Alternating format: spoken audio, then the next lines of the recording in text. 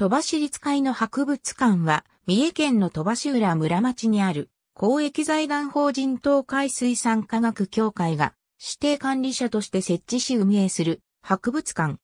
海民と呼ばれる海と共に生活する人間と海との関わりについて、様々な視点より調査、研究や展示、社会教育活動を行っている。研究分野は、水産業、海運業、造船、海産物の流通など海に関わる経済活動のほか、宗教、民族、文化、資源保護や海洋汚染等多岐に及ぶ。資料収集にあたっては、資料に対する偏見を極力排除するため、どんなものでも集めるが、方針となっている。三重県の海沿いの地域、特に島半島から熊野灘沿岸の漁村を中心に収集しているが、船や海に関する資料などには日本国外のものもある。漁具など約6万点の実物資料の中には6879点の重要有形民族文化財を含み、写真資料は約12万点を保有する。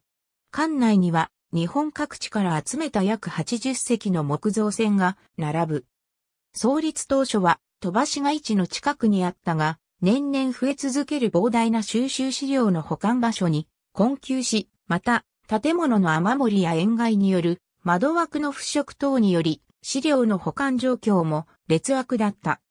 1985年、収蔵資料の一部が重要有形民族文化財に指定されたことを契機に文化庁の補助を受けて収蔵庫を現在地に移転新築した。バブル景気の真っ只中で旧所在地跡の敷地を高値で転売できたことから展示棟も建設できることになり、1992年に全面移転した。開館以来、東海水産科学協会が運営してきたが、経営難のため、鳥羽市に施設の寄付と一部買取を要請し、2017年10月より鳥羽市が設置し、東海水産科学協会が指定管理者として運営する鳥羽市立会の博物館に移行した。館長は同協会の石原義武が引き続き務める。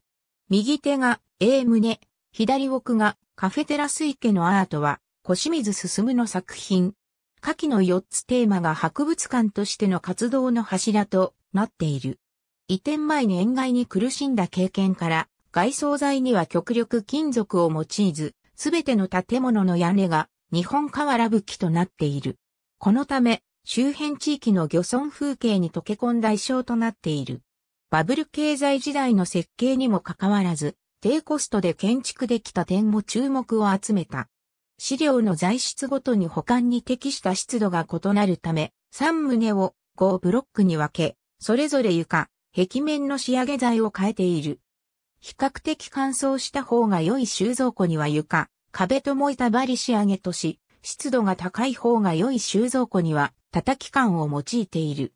当初木造で計画されていたが、木造では文化庁から補助金が交付されないため、プレキャストコンクリート作りに変更している。3棟あるうち、船の収蔵庫1棟のみが公開されている。庫内は土足現金であり、来館者は収蔵庫入り口で付属のスリッパに履き替える。ありがとうございます。